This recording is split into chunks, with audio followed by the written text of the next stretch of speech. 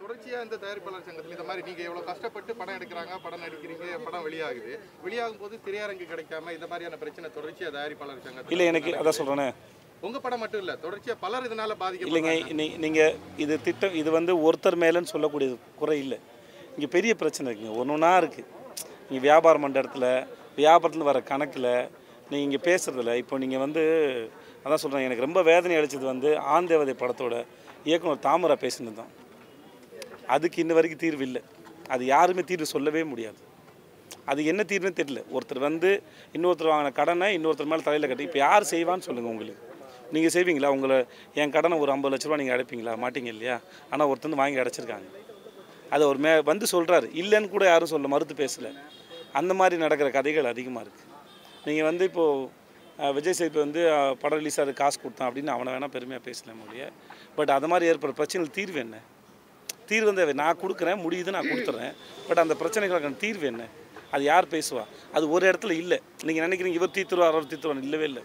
உங்களுடைய பெருந்தன்மை நீங்க கொடுத்துட்டீங்க. இல்லை இந்த மாதிரி நிறைய பேர் கொடுத்துருக்காங்க. எனக்கு மட்டும் நடக்கலைன்னு சொல்ல வரேன். ஏன் இத இந்த பிரச்சனைகளை தீர்க்கறதுக்கு தான் அதான் சங்கம் அமைக்கிறோம்?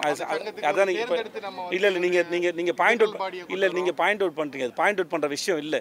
நீங்கள் வெளியே இருந்து பார்க்குறீங்க உள்ளே வந்து பார்த்தா தெரியும். நீங்கள் உள்ளே வந்து உள்ளே அனலைஸ் பண்ணுங்கள் ரிப்போர்ட்டர் தானே. உள்ளே வந்து நீங்கள் உள்ளே ஒரு ஸ்டோரி பண்ணினா உங்களுக்கு தெரியும். எங்கேருந்து எங்கெல்லாம் போகுதுன்னு தெரியும். ஜெனரல் பாடியால எதுவும் பண்ண முடியாது. ஜெனரல் பாடி கரெக்டா இருக்குன்னு சொல்லாம தயாரிப்பாளர் நீங்கள் ஒரு கேள்வி நீங்கள் ஒரு பதில் எதிர்பார்க்குறீங்கல்ல அதுக்கு நான் பதில் சொல்லிகிட்டே இருக்கேன். நீங்கள் வேறு கேள்வி கேட்டிருக்கீங்க அது ஏன்னு தெரியல ஏன்? இல்ல நான் கேக்குறேன். இல்ல, நான் உங்களுக்கு- நான் எங்க உருவாகுதுன்னா பிரச்சனையை கண்டு பிரச்சனை- பண்றதுக்கும் பிரச்சனையை ஷார்ட் லிஸ்ட் பண்றதுக்கும் நீங்கள் ரொம்ப தயாரிப்பாளர் சங்கம். அதான் உங்களுக்கு ரொம்ப ஈஸியாக இருக்கு இல்லையா? அது ஈஸியாக தான் செஞ்சுருப்பாங்களே நேரம் அது ஈஸியாக இல்லை. முடியல அப்படின்றீங்க. இல்லை பெரிய பிரச்சனை நீங்கள் வேறு எதிர்பார்க்குறீங்க. நீங்கள் கான்ட்ரவர்சி எதிர்பார்க்குறீங்க பிரதர் அதில் இல்லை பிரதர் வெரி சிம்பிள் நான் very sim- புரிஞ்சுக்க விரும்புறேன். நீங்க எனக்கு. பிரதர் ஒரே நிமிஷம் இருங்க ஒரு நிமிஷம் இருங்க. ஒரு நிமிஷம். ஆர்குமெண்ட் இல்ல சார் இல்ல, நீங்க- இல்ல. ஒரு சின்ன விஷயம். ஒரு நிமிஷம் இருங்களேன் ஒரு நிமிஷம் இருங்களேன். ஒரு நிமிஷம் இருங்க நீங்கள் ஜெயிக்க அது இல்லை இல்லை. நீங்கள் பேசுறது கேட்க மாட்டேங்கிறீங்க ஒரு கான்ட்ரவர்சி கிரியேட் பண்ணுறதுக்கான கேள்வி கேக்குறீங்க. அதோட அர்த்தம் என்ன? கான்ட்ரவர்ஷியல் இல்ல, நான் உங்களுக்கு என்னோட ஒரே ஒரே சிம்பிளா ஒரே நிமிஷம் இருங்க. ஒரு நிமிஷம் இருங்களேன்.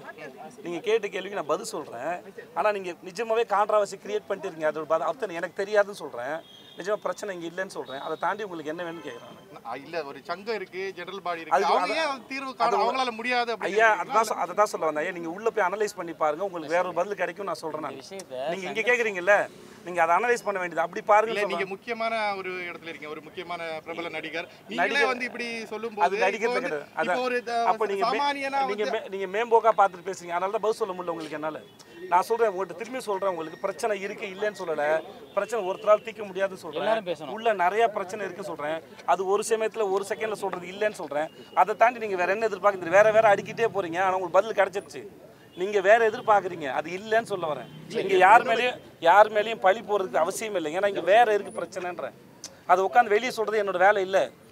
அது என்னோட வேலை இல்லை. இருபத்தி ஓராம் தேதி நான்கு. இல்லைங்க. இவர் எப்போ முடிக்கிறான்னு பார்ப்போம். நீங்கள் சொல்லுங்கள் நீங்கள் முடிக்க பார்க்கலாம். சோ சீதக்காதிக்கு இந்த மாதிரி பிரச்சனை வந்து அதையும் ஃபேஸ் பண்றது நீங்க தயாரா இருக்கீங்களா? சீதக்காது பிரச்சனை வரலன்னு சொல்கிறேன் நீங்கள் வேற பிரச்சனை வந்துச்சுன்னா எனக்கு தெரியும் இருக்கீங்களா? என்னங்க இது?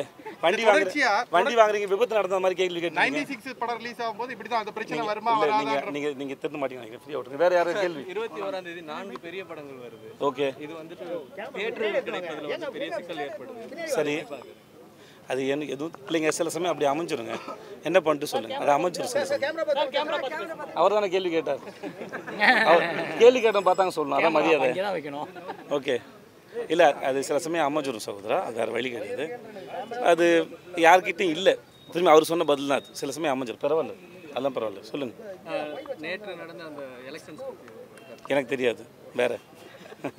எதுக்கு என்கிட்ட அரசியல் கேள்வி கேட்குறீங்க?